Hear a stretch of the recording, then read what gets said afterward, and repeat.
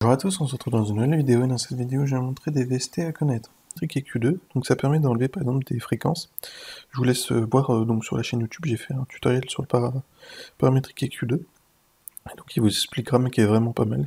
Donc je vous expliquerai euh, donc à quoi, à quoi ça sert le paramétrique EQ2. Et le deuxième c'est Fruity DB Meter, donc ça permet de voir les décibels, comme ceci quand on joue un son.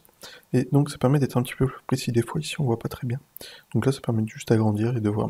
Donc le Fruity Stretcher ça permet de stretcher comme un, edging. Donc ça permet de faire... Et donc ça permet de, assez simplement de faire du stretching. Et Fruity Wave Shaper, donc ça permet de bouger le son. Et donc, pardon pour les oreilles. Et hop, comme ceci.